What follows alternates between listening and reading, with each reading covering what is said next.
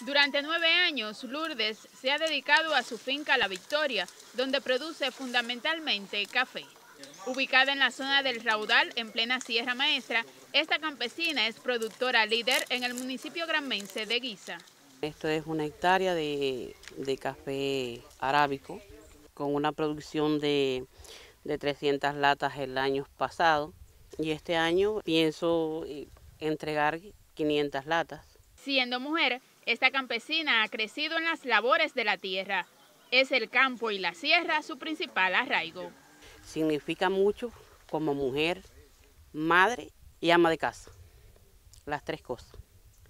Significa mucho porque soy campesina, pero también tengo hijos y lo he tenido que sacar adelante con trabajando.